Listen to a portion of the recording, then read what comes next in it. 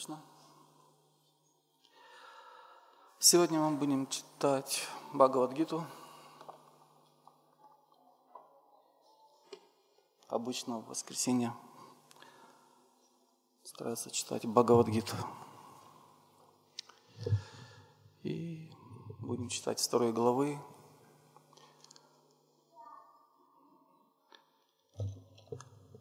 Два сорок. नमो भगवते वासुदेवाय।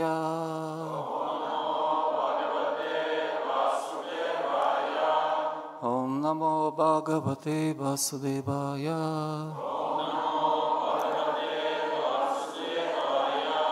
ॐ नमो भगवते वासुदेवाय।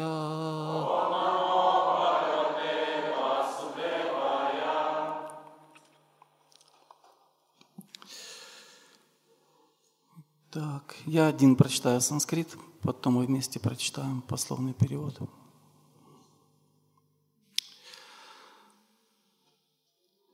Миха Бикрама нашасти пратявайо навидяте Свалпам песя дармася траяте махато баят. Давайте вместе прочитаем пословный перевод. На, не, иха, здесь, в йоге. Абхикрама от попыток. На шах утрата. Асти существует. Пратяваях потеря. На не. Видяте существует. Су алпам небольшое. Апи даже. Ася этой. Дхармася деятельности. Траяте спасает. Махатах от величайшей. Бхаят опасности. Перевод его божественной милости Абхай Чарана Равиндам Бхактивиданта Сами Шилы Прабхупады. Тот, кто стал на этот путь, ничего не теряет, и ни одно его усилие не пропадает даром. Даже незначительное продвижение по этому пути оградит человека от величайшей опасности. Комментарий Шилы Прабхупады.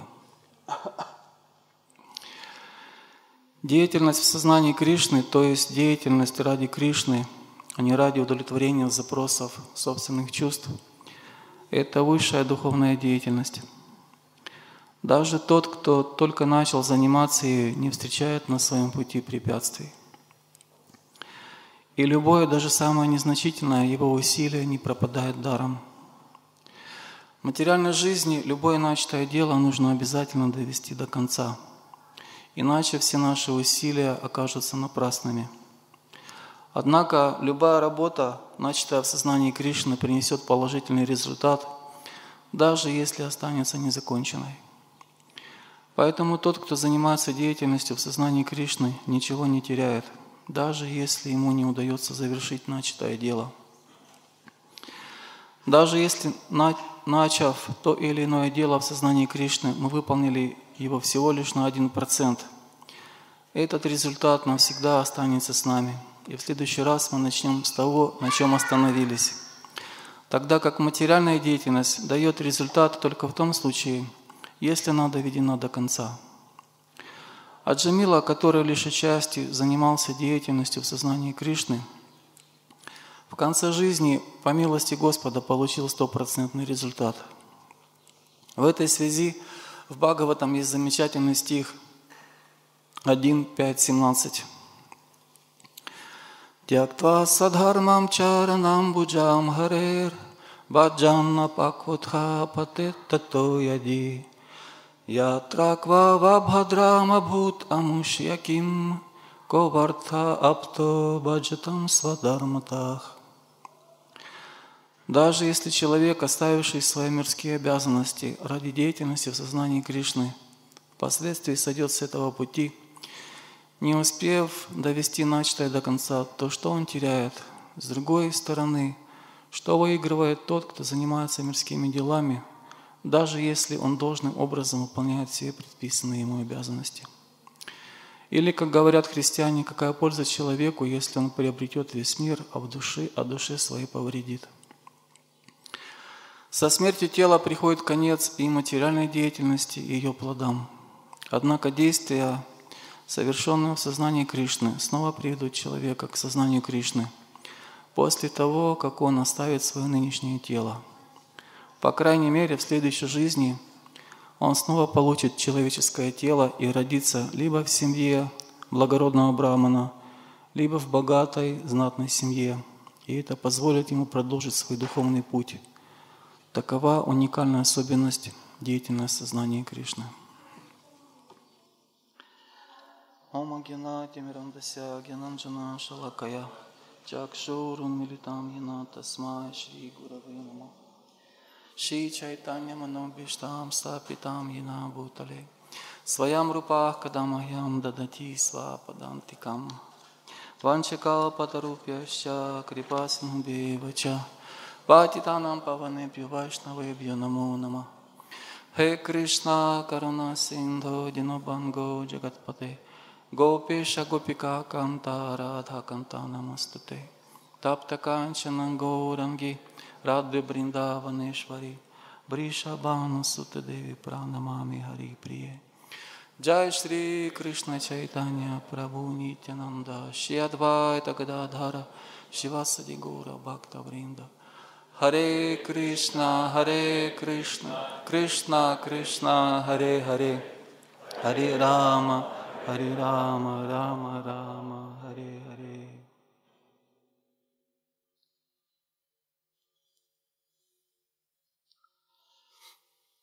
Так это очень знаменитый текст, 2.40. Очень знаменитый текст. Его очень часто цитируют Его чаще всего одним из самых первых заучивают наизусть бхакты со школы бхакти, когда изучают Бхагавадгиту. Очень часто одним из первых стихов Бхагавадгиты они заучивают этот, потому что в нем есть что-то очень важное, вдохновляющее, утверждающее, торжественное, торжественный аккорд – что вставший на этот путь, на духовный путь, ничего не теряет. И ни одно его усилие не пропадает даром. Даже незначительное продвижение по этому пути оградит человека от величайшей опасности. И дальше в Бхагавадгите, в шестой песне, в шестой главе будет продолжение развитие этой темы. Там этот путь упоминается как Брамана Падха. И переводится как Брамана, духовный путь, Брамана Падха. И это духовный путь, который предназначен для каждого из нас, предназначен для людей. На самом деле Самое высшее совершенство в жизни, которое мы можем достичь, это встать на этот путь.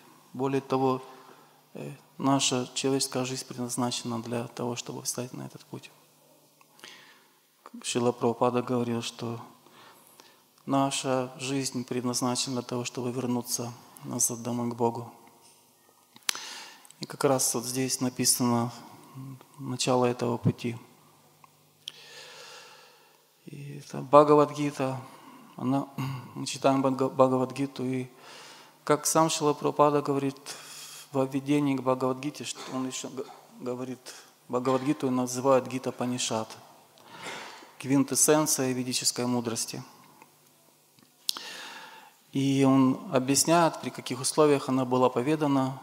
Она была поведана Верховным Господом Кришной своему его близкому другу Арджуне, когда Арджуна оказался в сложной ситуации, когда с ним случился а, кризис в его жизни, то Господь Кришна поведал ему Бхагавадгиту, чтобы помочь ему разрешить трудности в своей жизни. И как Прабхупада говорит, что хотя Господь поведал Бхагавадгиту Арджуне, на самом деле таким образом Он поведал ее для каждого из нас, потому что каждый из нас не понаслышке знаком, что такое трудности в жизни, что такое кризис. Так или иначе, каждый из нас прикасается с какими-то беспокойствами. И в Бхагавадгите даются трансцендентные наставления, которые могут помочь нам разрешить все наши проблемы, которые встречаются в нашей жизни. И самое главное объяснение, которое здесь мы находим, это то, что материальные трудности, они не решаются материальным способом. Ну, это может показаться очень необычно, но действительно материальные трудности решение их материальных способом приводит просто к временному какому-то решению проблем. Это ненадолго эти наши трудности материального существования просто откладывает. Потом они вновь возвращаются. И здесь предлагается, что чтобы решить все трудности материального существования, нужно духовное знание. Есть в этой второй главе есть очень много важных таких вдохновляющих текстов, как этот, которые описывают положение души, что каждый из нас на самом деле душа, что мы не являемся этим телом, что тело это просто маленький отрезок нашего вечного пути, это наша жизнь. И там есть такие тексты, что как человек оставляет старые одежды, чтобы одеть новые, так и живое существо, душа – положенный срок оставляет это тело, чтобы родиться вновь. Тот, кто родился, обязательно умрет, а тот, кто умер, обязательно родится снова. Есть описан этот круговорот повторяющихся рождений и смертей. И боль дальше будет объяснять Кришна Арджуне, что такое истинное знание, что рождение старости, болезни есть зло, потому что приносит страдания живой душе. И поэтому чтобы решить все проблемы, нужно почувствовать себя душой. И поскольку это непросто, он здесь объясняет, чтобы почувствовать себя душой, это на самом деле духовное знание, душа – это абсолютное понятие. И его невозможно понять материальным способом, его невозможно добиться своими усилиями. Потому что это духовное знание, трансцендентное знание, оно приходит как откровение от Господа в сердце. Потому что Господь сверхдуша, Он дает понимание этого знания. И Кришна побуждает Арджуну действовать, чтобы чувствовать себя душой. Он побуждает его действовать духовным образом, действовать как душа. И действовать как душа – это значит стать на этот путь,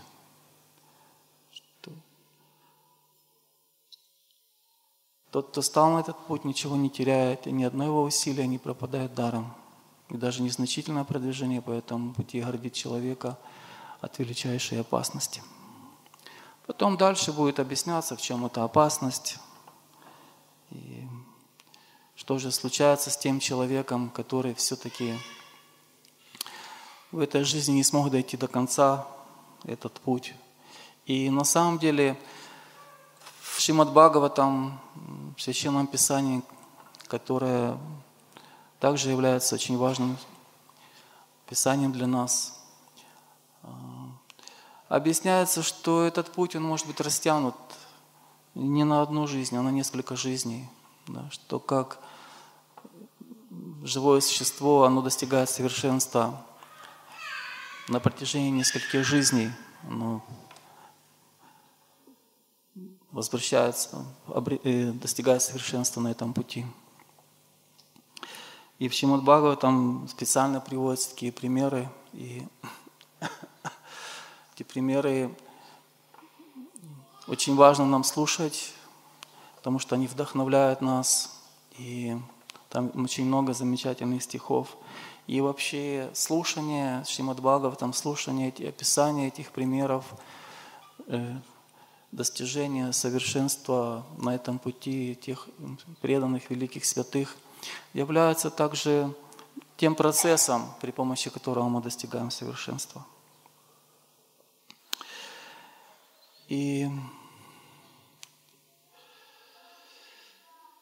поскольку эта Бхагавадгита является азбукой духовной жизни, то, как сам Шила Прабхупада говорит в начале введения, что здесь описаны пять главных философских истин, что прежде всего истинное знание заключается в том, чтобы научиться понимать различия между духом и материей, и что Хотя, несмотря на то, что мы отождествляем себя с этим, с этим телом, мы думаем, что мы это тело, на самом деле каждый из нас вечная душа, вечное живое существо. И материальное существование является болезненным для души. И душе неестественно, она себя неестественно чувствует. Каждое живое существо, которое находится в материальном мире, оно чувствует страдания.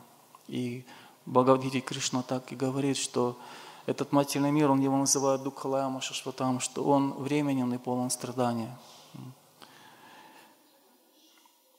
И когда Прабхупада описывает эти пять философских истин, он говорит, что здесь основой духовного знания это есть эти пять истин, когда объясняется, кто такой Бог Ишвара, кто такая Джива, это вечное живое существо, душа,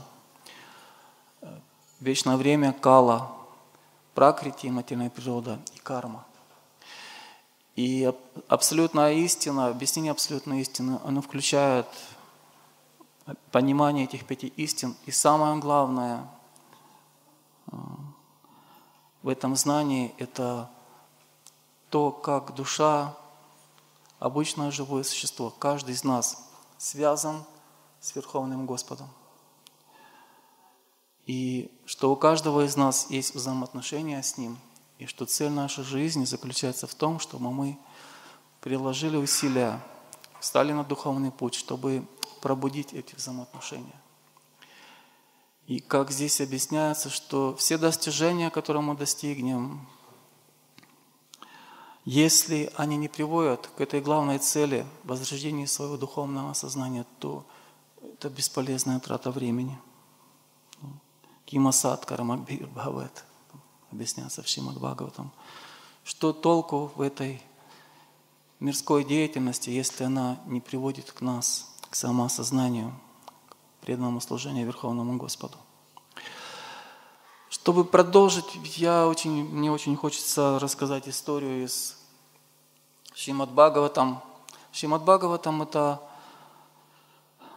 очень важное описание, если Бхагавадгита является основой духовного знания, то Шимад Бхагаватам э, ну, развивает это духовное знание, оно описывает путь преданного служения. Вообще в Бхагаватам рассматривается 10 очень важных тем. Э, э, творение, первичное творение, вторичное творение, какие есть планетной системы, различные материальные миры, также Пошанам, защита Господа, Атрасага, Висага. Стханам. Стханам – это побудительная причина этого творения. Также описана династия великих царей, описана Ниродха. Что такое Ниродха? Разрушения вселенных. И описано мукти, что значит мукти, и что на самом деле мукти это означает Сурапена Вивасхити, возвращение себе своего истинного состояния, истинного облика, как вечного слуги Кришны, возвращение назад домой к Богу. И в Бхагаватам описаны то, как, можно, как э, живое существо развивает свои отношения с Верховным Господом. Там очень много удивительных молитв. Вообще это очень удивительное священное писание. очень главное, важное священное писание. В самом Шимад там говорится, что когда после того, как Господь Кришна покинул этот мир, то принципы религии, они обретают прибежище на страницах Шимад Бхагаватам. И что Шимад Бхагаватам на самом деле не отличен от самого Верховного Господа Кришны. И в Бхагаватам, в самой первой главе, описана история о том, как однажды в святом месте в лесу на Мишаране множество великих мудрецов собрались для того, чтобы совершить очередное жертвоприношение. Цель этого жертвоприношения заключалась в том, чтобы принести благо всем живым существам. Там также перечислялось, чтобы э, ослабить влияние демонических сил. И также просто для очищения. На самом деле жертвоприношение, когда мы слышим это слово, особенно в западном мире, оно иногда вызывает противоречивые чувства, обычно какой-то негативный оттенок, потому что мы много слушали всяких страшных историй о том, как приносят жертву других живых существ. Но на самом деле жертвоприношение ягья – это, как Шила Прабхупада говорит, что, что мы можем пожертвовать Господу, мы не, ничему не можем пожертвовать, потому что нам ничего не принадлежит, даже наше тело Ему не принадлежит. Все, что мы можем Ему пожертвовать, это наше, Он приводит крепкое слово, что наше это собачье э, само мнение, что я великий и что я Бог. Потому что нас истинное положение живое, что, что Он, что оно покорный вечный слуга Господа. И суть жертвоприношения, которое проводили эти великие мудрецы, она заключалась в том, что они говорили, просто говорили о славе Господа. Они говорили о славе Господа, и это приносило им огромное наслаждение, огромное удовлетворение. И метод был таков, что в там говорится, что множество мудрецов во главе с Шаунакой, они собрались в святом месте, и они выбрали одного, самого выдающегося, э, Рамахаршана Суду. Впоследствии это был его сын Сута Госвами. И они задавали ему вопросы. И в Бхагаватам в первой главе описывается шесть вопросов, которые они ему задали. И самый первый вопрос они ему задали очень смиренно, спросили его, что скажи нам, пожалуйста, о великий Сута, что помсам и кантатах шриях, тот, кто мы когда читаем книги Прабхупады, Шрила Прабхупада хотел, чтобы мы читали пословный перевод. Таким образом мы запоминаем санскритские слова. И иногда какой смысл или какая-то часть смысла нам становится немного понятной благодаря тому, что мы читаем санскрит.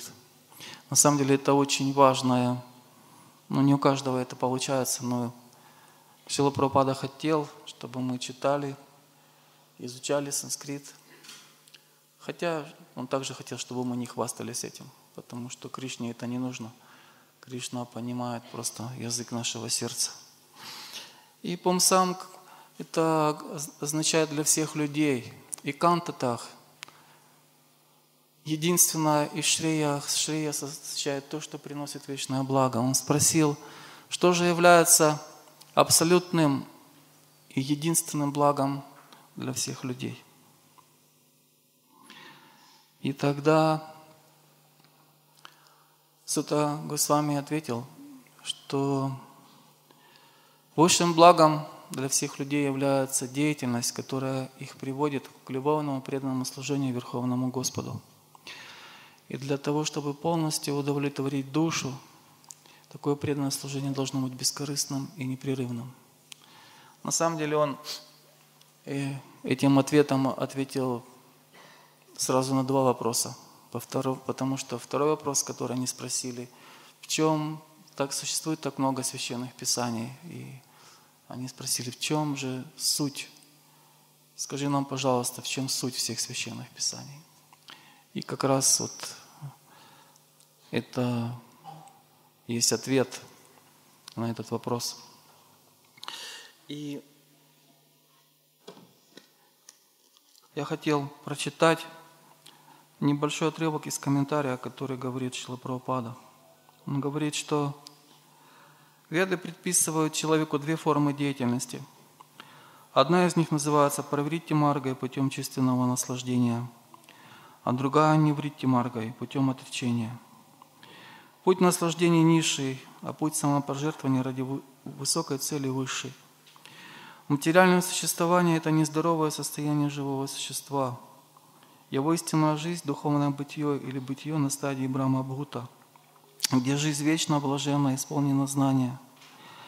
Материальное существование временно или зорно и исполнено страданий. В нем вообще нет счастья, а есть только тщетные попытки избавиться от страданий, и временное прекращение страданий ошибочно принимается за счастье. Поэтому путь материальных наслаждений, временных, жалких или зорных, является низший. Но преданное служение Верховному Господу, ведущее к вечной жизни, в блаженстве и всеведении, называется высшей формой деятельности человека. Иногда, если к нему примешиваются низшие качества, оно оскверняется. Например, если человек обращается к преданному служению ради материальной выгоды, это, безусловно, создает препятствие на его пути к отречению. Отречение или самопожертвование во имя высшего блага бесспорно предпочтительное наслаждение жизнью в болезненном состоянии. Поэтому преданное служение Господу должно быть качественно чистым, то есть полностью свободным от стремления к материальным наслаждениям. Следовательно, необходимо обратиться к высшему занятию, преданному служению Господу, лишенному малейшей примеси ненужных желаний, кармической деятельности или философских спекулятивных рассуждений – только так на пути служения Господа можно обрести вечное утешение. И я специально прочитал этот комментарий, потому что, в принципе, этот комментарий не похож на тот, который дается в Бхагавадгите, тот, который мы сегодня читали. Здесь тоже описывается два вида деятельности. Деятельность, духовная деятельность, для, которая предназначена для самосознания, для удовлетворения Верховного Господа. И описывается мирская материальная деятельность. И здесь также в комментарии дается предпочтение трансцендентной деятельности, которая приносит вечное благо – и объясняется, что материальная деятельность, она, как здесь Прабхупада говорит, что со смертью тела приходит конец всему. И этому телу, и этой деятельности доведена она до конца или нет. И как в одном месте Прабхупада говорит, что вульгарный материалист может на собственном опыте убедиться в том, что материальная выгода – ограничено временем и пространством, в этом мире или в ином. Даже поднявшись на Сваргалоку, он не найдет там вечной обители для своей не знающей покоя души. Удовлетворение стремившейся душе может принести только совершенный научный процесс совершенного преданного служения. И в 11 песне Шимад Бхагаватам 11, 10, 20 по-моему. Там этот момент объясняется, объясняется, что прямо в самом тексте говорится, что смерть очень неприятна. Опыт смерти – это неприятный опыт. Но каждый из нас, подобно заключенному, он стоит и ожидает своей очереди. Поэтому какой смысл э, заниматься мирской деятельностью ради обретения временных материальных плодов. И в комментарии комментируют этот стих ученики Шилы Прабхупады. На тот момент уже Шила Прабхупада покинул этот мир. они ссылаются на ачарьев прошлого, они говорят, что в древние времена человека, которого а, приговоренного к казни, его, прежде чем казнить, должны были накормить обильно изысканными явствами. Там очень красивый комментарий. И там объясняется, что человек, который, который знает, что его скоро казнят, он не может, как он может наслаждаться этим изысканным пиром. И подобно этому разумный человек, э, вдумчивый человек, он понимает, что чего бы он ни достиг в этом мире, любое самое высшее достижение, любое материальное счастье, оно ограничено временем и пространством. В определенный срок, в тот момент, когда придется оставить это тело, будет потеряно все. И поэтому в Священных Писаниях говорится, что вдумчивые люди, они избирают духовный путь, на котором нет ни, ни поражения, ни потерь. И во второй песне объясняется, что здесь знаменитый стих «Аюр харати вам памсам», что с каждым восходом и закатом солнце сокращает жизнь любого из нас, за исключением тех, кто все свое время посвящает обсуждению повествования всеблагой личности Бога. Просто преданные, они черпают блаженство в том, что они говорят о славе Господа – потому что это приносит им трансцендентное наслаждение, это очищает их сердце. И мне сейчас очень хочется повторить то, что неделю назад или две, совсем недавно, когда Двиджака Винда пробудовал лекцию, он привел очень очень интересный пример, который говорит о славе Господа. И очень вдохновляющий пример. Мне, это, мне очень это, это понравилось, и я решил его повторить сегодня. Он цитировал, там говорилось о второй песне 2.7.23. Это цитата из Шимад Бхагаватам, в котором говорится о Господе Рамачандре – там в самом тексте говорится, что по беспричинной милости ко всем живым существам этой вселенной Верховный Господь вместе со своими полными экспансиями явился в роду Махараджа Икшваку, став господином своей внутренней энергии, ситы. По велению своего отца Махараджа Дашарадхи он в сопровождении жены и младшего брата отправился в изгнание в лес и прожил там несколько лет – Прожил там несколько лет. Обладавший огромным материальным могуществом, десятиголовый Равана дерзко оскорбил Господа, что в конце концов послужило причиной его гибели. Вот такой текст, который описывает славу Господа Рамачандры. Но здесь есть санскрит, и это перевод санскрита, санскритского текста. И санскрит – это очень потрясающий язык. Иногда в нем есть такие слова, которых нет аналогов в русском языке. Иногда невозможно передать в полной мере то, что сказано. И поэтому, э, когда ачари иногда делают пословное, они разбирают пословно некоторые моменты, фрагменты текста. Это позволяет понять глубже то, что сказано в этом стихе. И вот э, в этом стихе говорится «Асмат прасада сумуках» Икшваку Вамша Аватирия, что здесь? Икшваку Вамша – это династия э, Икшваку, и Аватирия есть очень знакомое слово аватара. Аватара, мы знаем, что аватарами называют воплощение Верховного Господа, которые не сходят – и аватирья здесь означает, на самом деле это комментарий Джива Госвами, он говорит, что корень тир означает спасать, и аватирья означает тот, кто не сходит для того, чтобы спасти. А в первом строчке говорится «Асмат прасада сумуках». И мы знаем, что слово «прасад» переводится как все мы знаем этого самого начала, что волшебное слово «просад» переводится как «милость Господа». И просад – это не только то, что Господь оставляет как милость в форме пищи.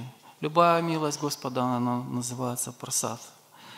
И асмат, асмат просада, то есть эта милость, она направлена, проливается на всех живых существ, включая маленького муравья и Верховного Господа, и также Господа Браму. И вот слово, важное слово «сумуках», потому что мукха значит лицо – и здесь объясняется, что сумука – это тот, кто поворачивает свое лицо. И то, что Джива Госвами пословно объясняя этот текст, он говорит, что Верховный Господь для того, чтобы нас спасти, Он является в династии к Шваку. И Он проливает свою милость, он, одним словом, проявляет милость ко всем живым существам, поворачиваясь к ним лицом. И Джива Гусвами, он объясняет, делает разбор этого текста, он говорит, что обитатели этого мира, они называются вимукхам. Мукхам – лицо, да, тот, кто изучал нектар наставления, преданности, знает, там есть а, когда описывается эволюция греха, есть такая ступень пхалам плод рта, что вот-вот уже живое существо, оно собирается совершить греховный поступок. И веймукхам означает те, кто отвернулись. И Джива Гусами он говорит, что те живые существа, которые населяют материальный мир, они вимукхам, они отвернулись от Господа. Ну, потому что гордость или зависть, да, как Прабхупада говорит в одном из своих комментариев, что греховное желание живого существа во всем сравняться с Богом есть единственная причина создания этого материального мира. Что этот материальный мир ему не нужен даже, даже для того, чтобы являть здесь свои игры. И поэтому вимукхам, отвернувшиеся, не желающие поворачиваться под влиянием ложного, ложной гордости, ложного отождествления – и поэтому для того, чтобы явить милость живым существам, Господь, Он приходит в этот мир и поворачивается лицом, проливает свою милость, показывая всем тем, что а, каждый из нас очень дорог Ему. Вообще в Шримад там объясняется, что у души, у вечной души нет никого дороже Кришны. И вот здесь показан этот аспект Его милости – что он приходит и тем, кто отвернулся, он поворачивается лицом. Да. Его милость, как он является в форме мурти, и преданные могут поклоняться Господу в форме божества, они могут Его касаться, служить Ему, посвящать плоды своего труда, все предлагать Кришне, все самое лучшее. Это процесс преданного служения, который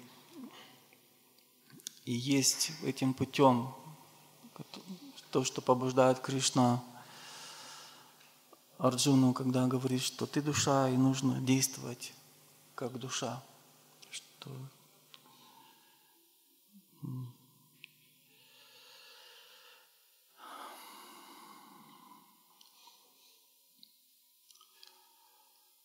И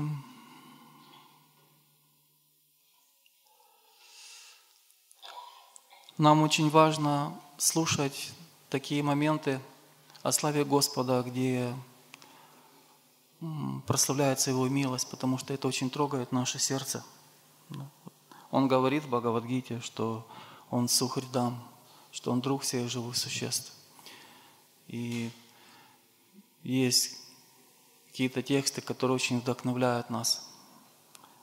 Например, как однажды Бриджаваси Прабhu рассказывал на воскресной лекции о том, как в Брама Вавайта Пуране описана история о том, что у Вьясадевы родился сын Шукадева Госвами. И Шукадева Госвами, поскольку, будучи в утробе матери, он будучи отцом такого великого святого, он услышал от него Шримад Бхагаватам. И он не, ходил, не хотел выходить из утробы матери, потому что он боялся соприкоснуться с материальной природой, он боялся оскверниться. Он хотел оставаться в чистом сознании, всегда помнить о Верховном Господе. И это длинная история со многими деталями, когда он все-таки вышел, потому что его Кришна попросил об этом. И в самом начале Бхагаватам, в первой песне, там также объясняется тоска Весадевы, когда он, тоскуя по своему сыну, там говорится, что он, он когда он родился, он встал и сразу ушел, потому что он боялся, боялся хоть как-то, каких-то вообще материальных связей. Он встал и ушел просто бродить по свету. И тогда Ясадева, он разослал своих учеников, и они ходили по всем окрестностям, они искали Шукадеву Госвами. И чтобы его, его невозможно было найти, потому что он, он не хотел их встретить, он прятался от них. И для того, чтобы его встретить, они тогда стали цитировать шлоки Шимад Бхагаватам.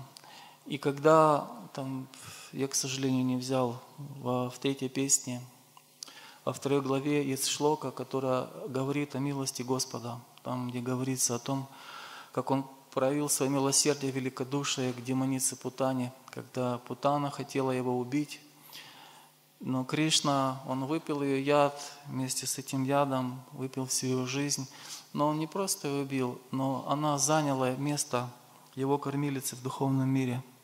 И в этой шлоке говорится, что где же я найду такого милостивого Господа, как Господь Кришна, который ведьме Путане той, которая хотела его убить, отравить, он предоставил ей место матери. И когда Шукадева Госвами услышал эту шлоку, он остановился. И потом они процитировали, он услышал другую шлоку из десятой песни, которая говорится о красоте Господа. Там говорится, как он выглядит, что он украшен цветами карникара, какое у него прекрасное лицо, какой он красивый, какой он добрый, как живое существо стремится к нему. И тогда, так Бриджабаси Прабhu говорит, что после первого шлоки он остановился, но когда он услышал вторую, то он побежал, побежал на звук этой мантры. И так ученики Шукадава Госвами, они смогли найти а, Шукадева Госвами, ученики Шилы Весадева не смогли найти Шукадева Госвами. И я помню, когда-то слушал лекцию по Бхагавадгите на этот же текст, который давал Ниранджана с вами.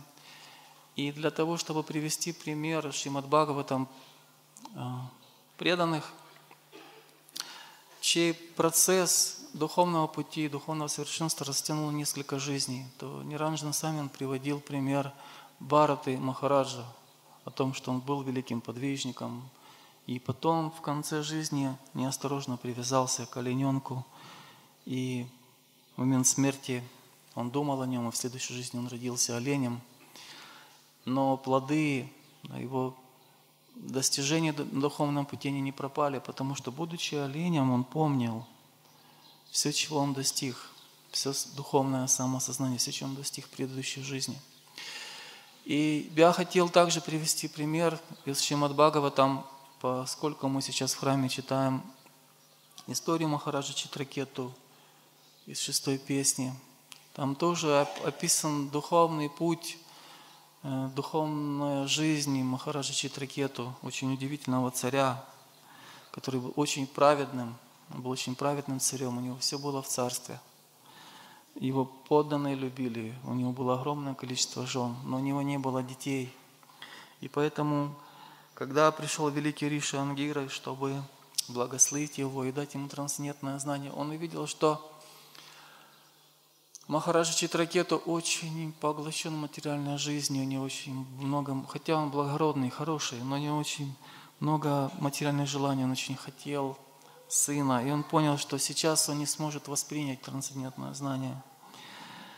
И поэтому он дал ему благословение, в результате которого появился сын. И потом, второй раз, когда они встретились, при других обстоятельствах, потому что в материальном мире так часто случается, что с нами случается очень не, очень, как с Махараджи Тракету, хотя он был благородным царем, но случилось великое горе, и умер его сын. И поэтому все его счастье, оно сразу же померкло.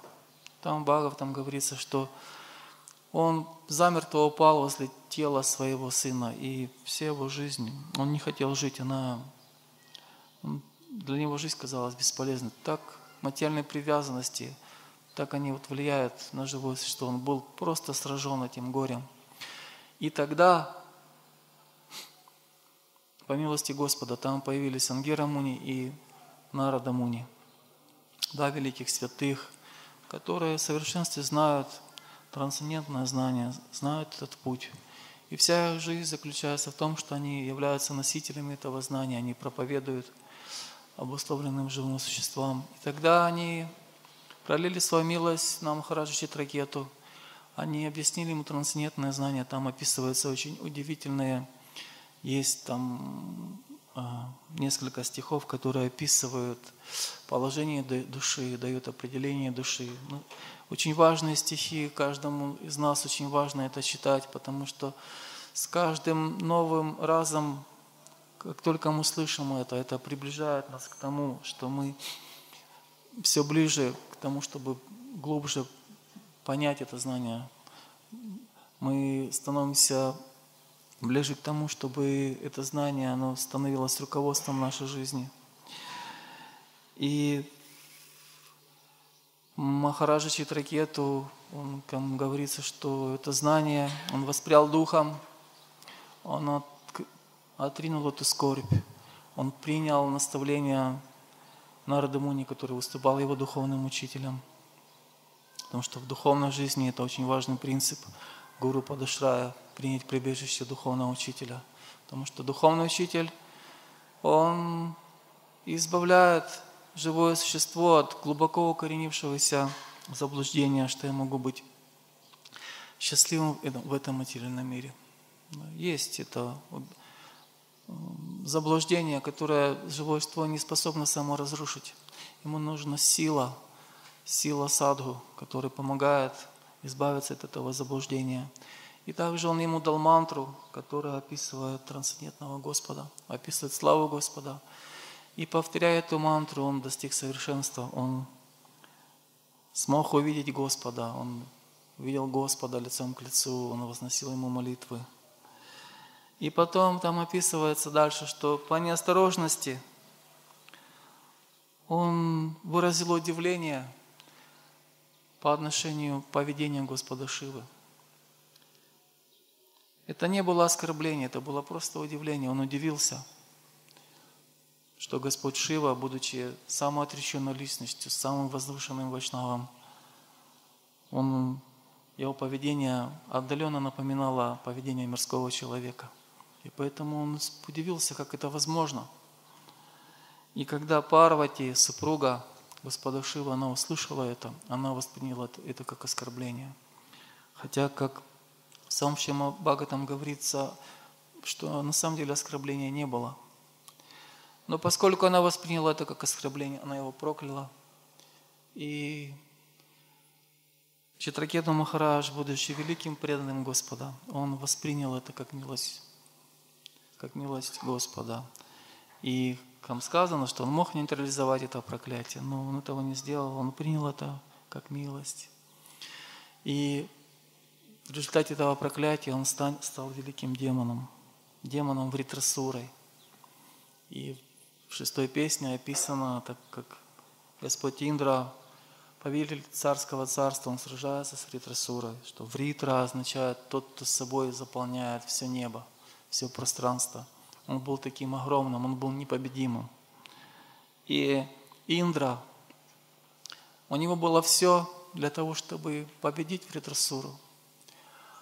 У него было оружие, которым он его убить. У него была армия, у него было благословение Господа. Более того, Господь ему сказал, как его убить. Но Индра был исполнен страха, и это оружие, которым он мог убить Вритрасура, оно выпало у него из рук. И тогда там есть глава, которая называется «Трансцендентные качества Вритрасуры». И там на санскрите говорится «Шри Вритрасура сказал». Шри – это применение великим святым, его божественная милость, можно так перевести. И как можно такое определение применить к демону, который поверг, поверг страх всей Вселенной? Господь Индра испытывал страх – там описано, что на самом деле посреди этой битвы Вритрасура вдруг стал не всего, начал давать наставления Господу Индре. Он сказал ему, что он стал его побуждать, вставай, сражайся, вставай, убей меня. Он его стал побуждать исполнять свой долг. И потом среди вот этой речи он стал возносить удивительные молитвы Господу. И эти молитвы, они, они исполнены а, очень глубоких эмоций. На самом деле такие молитвы может возносить только великий преданный. Как согласно, если согласно расы, эти молитвы очень возвышены. Эти молитвы может возносить только величайший преданный, который достиг величайшей стадии любви к Богу. Я хочу прочитать эти молитвы. Всего четыре молитвы. Да. Я когда-то слышал, что иногда эти молитвы называют даже чатуршлокой, потому что они обладают таким могуществом. Итак, это 6, 11, 25, 26, 24, 25, 26 и 27. Говорит демон, говорит Расура, который в прошлой жизни был великим преданным и который сохранил это знание из прошлой жизни – о мой Господь, во Верховная Личность Бога, смогу ли я вновь стать слугой Твоих вечный слух, избравших Твои лотосные стопы единственным прибежищем? О повелитель моей жизни, позволь мне снова служить так, чтобы ум мой всегда думал о Твоих трансцендентных качествах. Слова воспевали Твои качества, а тело постоянно служило Твоей милости. О мой Господь, источник неограниченных возможностей – я не желаю наслаждаться ни на Друвелоке, ни на райских планетах, ни даже на планете Господа Брамы. Не стремлюсь я и к власти над земными или низшими планетами. Мне не нужно ни мистические способности, ни даже освобождение, если ради него мне придется покинуть твои лотосные стопы.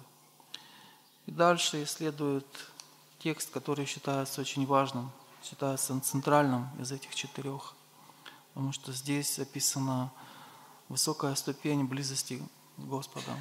Он говорит, «О лотосокий Господь, как неоперившиеся птенцы ждут, когда их мать прилетит к ним с кормом, как телята нетерпеливо ждут, когда их наконец отвяжут и позволят напиться материнского молока, или как истосковавшаяся жена, чей муж находится вдали от дома, ждет, когда он вернется и обласкает ее.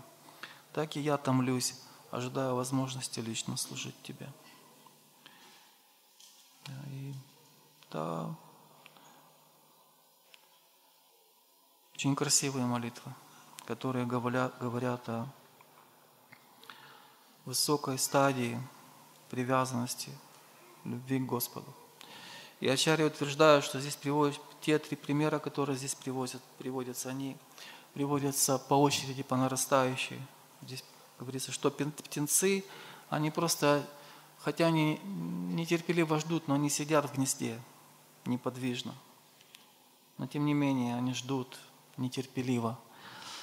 И потом телята нетерпеливо ждут, когда их отвяжут и позволят напиться молока. Но если кто был в Гашале, он видел, что как телята танцуют, они не могут оставить на месте. И когда их наконец отпускают, они подбегают к имени матери, они резким движением головы они бьют в это вымя, и оторвать их невозможно.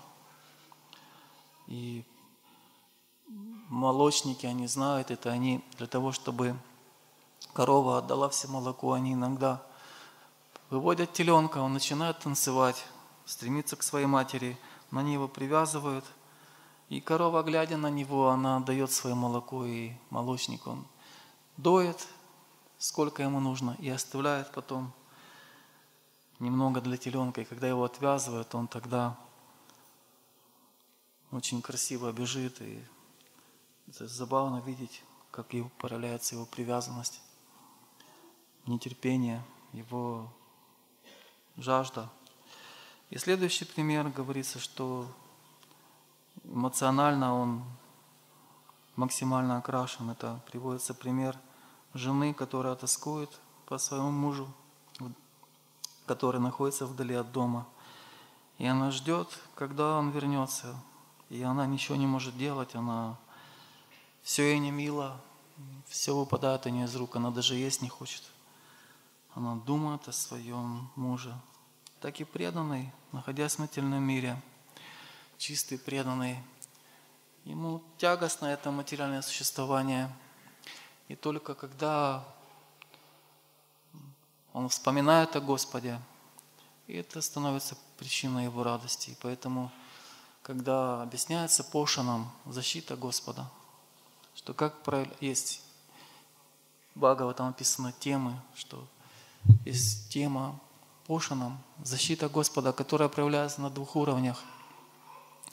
И на первом уровне она проявляется, что Господь дает все необходимое живому существу, Он, ему, он создает этот материальный мир, дает ему тело, дает возможности, различные материальные возможности, дает этот мир, дает солнце, воду, свет – создает благоприятные условия.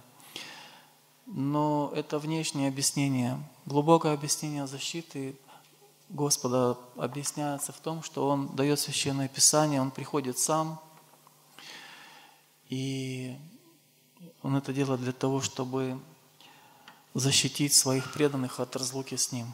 Он являет свои лилы, приходит со своими спутниками, дает священное писание – и как объясняет Ачари, когда в Бхагавадгите, здесь дальше в 4 главе будет объясняться причины, по которым приходит Господь в этот мир. Объясняются три причины. Это защитить праведников, наказать безбожников и возродить принципы религии, которые периодически под влиянием вечного времени приходят в упадок.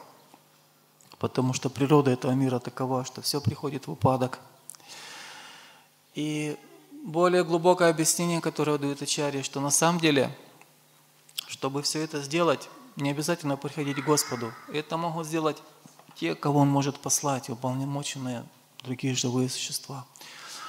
Но Он приходит сюда для того, чтобы лично сделать это, потому что когда Он приходит в этот мир, у Него есть возможность дать свое общение преданным, которые тоскуют по Верховному Господу.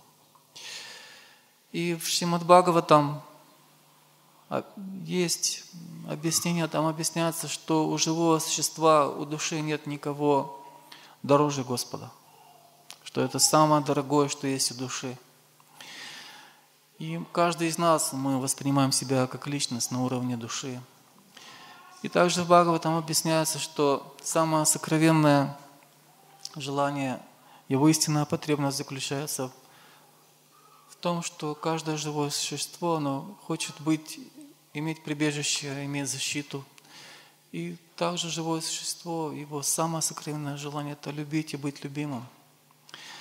И поэтому в Шимад Бхагаватам, в Священных Писаниях объясняется, что эта потребность, она достигает своего совершенства в взаимоотношениях со Всевышним.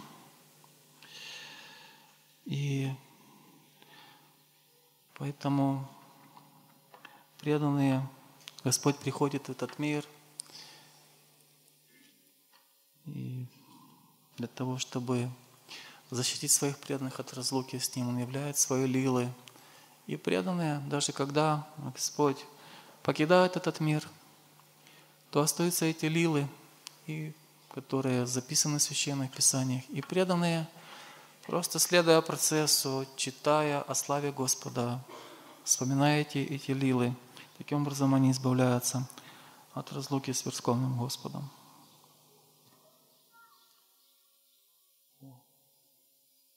Уже три часа.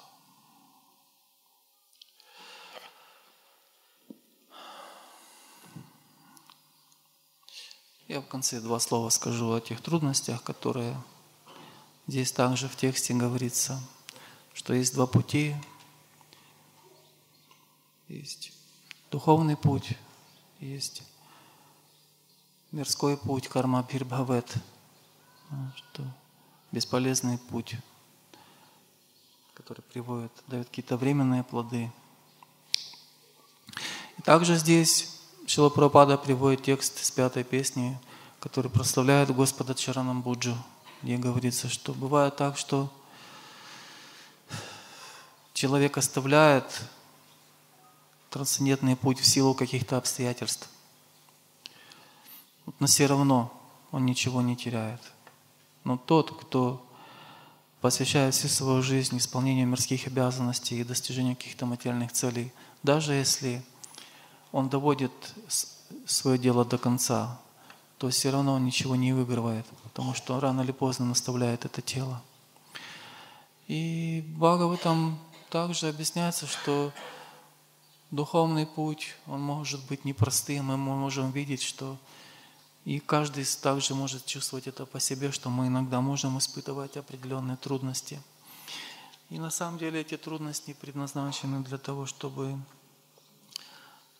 Э, защитить нас, закалить нас. И как э, в 16 главе 10 песни Бхагаватам, там, где Господь, Он освобождает демона Кали. Там описано, что Калия, он, будучи демоном,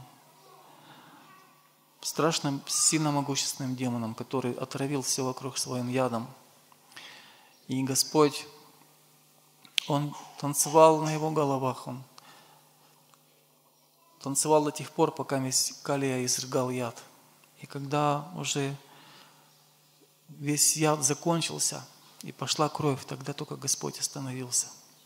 И жены этого демона, они были великими преданными.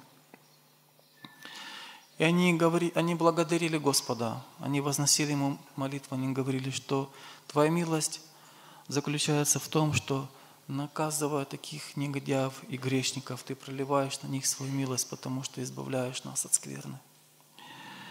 И все эти трудности, которые случаются в нашей жизни, они предназначены для того, чтобы встряхнуть нас немного, чтобы мы вышли из зоны какого-то своего комфорта, избавились от праздности и задумались о том, что о бренности этого материального существования. И более того, когда в этих трудностях мы учимся предаваться Господу, учимся зависеть от Него, учимся молиться Ему, потому что это тоже очень важно, учиться зависеть от Него, молиться, искать прибежище в Нем. Потому что все эти трудности и потери, когда мы что-то теряем, это мелочи по сравнению с тем, что когда предстоит самое главное важное событие в нашей жизни, когда мы должны будем оставить все, оставить наше тело, что тогда это уже будет последний, последний экзамен. И, как правило, это очень сложный момент.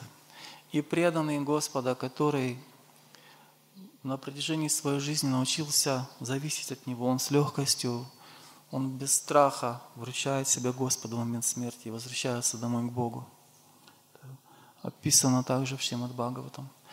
И я просто мне было интересно привести пример. Я искал, я нигде не мог, я очень долго сидел в интернете, искал, хотел найти эту историю со всеми подробностями, но я просто вспомнил ее по памяти. Эта история произошла около 10 лет назад, когда, если вы помните, тот, кто помнит, что когда в Казахстане, преданные в Казахстане, у них была община, я забыл, она как-то называлась, как-то Гупал, сад Господа Гопала.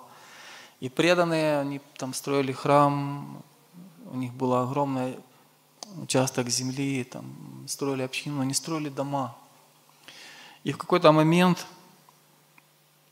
кому-то из правительства приглянулась эта земля. И знаете, как юридическим путем, законно, незаконно, юристы знают, как это сделать так, чтобы было все законно. Они повернули так, что преданные вдруг лишились права на эту землю. И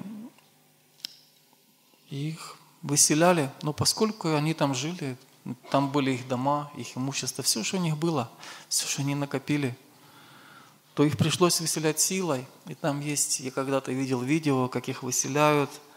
Ноябрь месяц идет снег, и приехало много техники, много милиции. И они просто силой вывели людей из дома, вынесли все их добро. И бульдозерами они сравняли с землей их дома. Это было вот в 21 веке, совсем недавно. Такое чудовищное нарушение прав человека. Я помню это видео, когда стоит мягкая мебель, стоит диван, на ней стоит монитор от компьютера, и идет снег, и этот снег тает. Все то, что в течение нескольких часов, оно под влиянием погодных условий просто придет в негодность. И как раз в этот трудный период Бхакти Бринда Говинда Махарадж, который является там, является духовным двигателем этой общины, духовным лидером. Он прилагал все усилия по всему миру, чтобы защитить преданных. Он обращался куда мог. И однажды, вот как раз в этот трудный период, туда приехал Ниранджана с вами, он его пригласил, потому что они ученики Прабхупада, они близкие друзья. И он попросил Ниранджана с вами сказать что-то, чтобы вдохновить преданных в эту трудную минуту. И я, к сожалению, это очень вдохновляющая речь, я не смог найти. Я просто по памяти помню, как он побуждал их. Он говорил, что на самом деле все трудности, они не спосланы Кришной. И преданным очень важно научиться в этих трудностях искать прибежище у Кришны. И принятие прибежища заключается в том, что преданный, он никого не обвиняет в своих трудностях, он ищет виноватых. Он пытается понимать, он берет ответственность на себя и пытается понимать, что на самом деле никто не виноват. Все эти, эти страдания – это следствие моей греховной деятельности. И Ниранджана сам он привел в пример преданного ученика Шилы Прабхупады, которого зовут Муктавам Япрабу. Ученик Шилы, ученик Шилы Прабхупады, которого мало кто знает – он живет в Бостоне, э, в Америке. И это очень необычный преданный. Знаете, есть такие люди, малокоммуникабельные. У него было очень мало друзей. Он всегда как-то любил оставаться один. И вроде бы ни с кем никаких отношений его не было. Но он, тем не менее, оставался возле преданных, общался с преданными. И его преданное служение заключалось в том, что он зарабатывал много денег и жертвовал на храм, жертвовал преданным, и жил, оставлял себе немного для жизни, для поддержания тела, и жил возле храма в, каком, в самых простых смиренных условиях, в каком-то подвале. И однажды он ехал на работу, и с ним случился сердечный приступ. Случилось что-то очень серьезное, и требовалось хирургическое вмешательство – и в этот трудный момент он, там, так получилось, что он был вдали от города, никого не знакомых. Ну, каким-то образом, по милости Кришны, вдруг появились люди, которые знали преданных. И как-то вот сложилось так, что он попал в больницу, потому что сам он был беспомощен, неподвижен. И он попал в больницу, он лежал на операционном столе, и он говорит, что я понимал, что эти трудности просто я старею, и моя карма, карма, пришло время страдать. И я лежал, старался думать о Кришне в этот момент, старался думать о Прабхупаде, и меня переполняла благодарность. Я был очень благодарен Прабхупаде и Кришне за все то, что происходило со мной. И он чувствовал счастье. И преданный по милости Господа, он таким образом учится в трудных ситуациях. Помните Кришне о том, что на самом деле у меня нет никого дороже Кришны. Кришна знает, что со мной происходит. И все, что я могу, это стараться помнить о нем, взывать к святому имени. Потому что милость Кришны также проявляется в том, что он приходит в форме своего святого имени. И его милость заключается в том, что Он принимает форму Святого имени для того, чтобы стать еще более доступным. Очень доступно в форме звука. И Святое имя всегда с нами. Даже если мы вдали от храма, даже если мы где-то далеко. Преданный, он не может жить без воспевания Святого имени, потому что он таким образом окунается в памятование Кришне. Это трансцендентная вибрация – он чувствует, как красота Господа проявляется в этом воспевании. Он чувствует, как Господь отвечает ему взаимностью на его молитву. И преданный, для преданного это, и вот такой путь, который заключается в том, что чтобы почувствовать себя душой, нужно действовать как душа. И действовать как душа, это значит слушать о славе Господа, стараться служить Господу, развивать свои отношения с Ним. Мы развиваем отношения, когда мы молимся Ему. И также общаться с Его преданными. И таким образом у преданного появляется надежда, что в самую трудную минуту Кришна напомнит о себе. Потому что Самая большая опасность, которая здесь Ачарья объясняет, что самая большая опасность заключается в том, что преданный забудет, живое что забудет о Господе. И самое, более того, есть еще одно объяснение, что поскольку человеческая форма – это высшая форма цивилизации, что Человеческая форма – это венец цивилизации. У человека появляются все возможности, у него есть разум, чтобы вернуться домой к Богу. Но если человек, опасность заключается в том, что когда человек не пользуется преимуществами человеческой формы жизни и не становится на путь самосознания, то он деградирует. Если человек эту жизнь развивает, качество животного, то в следующей жизни – он может родиться животным, и это является самой большой опасностью и самой большой потерей. И, но продвижение по духовному пути, как здесь говорится, даже, даже если мы продвинулись всего лишь на 1%, Прабхупада так и говорит, он приводит эту цифру на 1%, оно защитит живое существо от самой великой опасности – я, наверное, остановлюсь, потому что уже время. Если есть какие-то вопросы, дополнения, замечания, можно пару минут, пару вопросов. Спасибо. Шримад Бхагаватам ки джай, Шри Ширада Мадава ки джай, Шри Гуринта ки джай, Шила Прабхупада ки джай.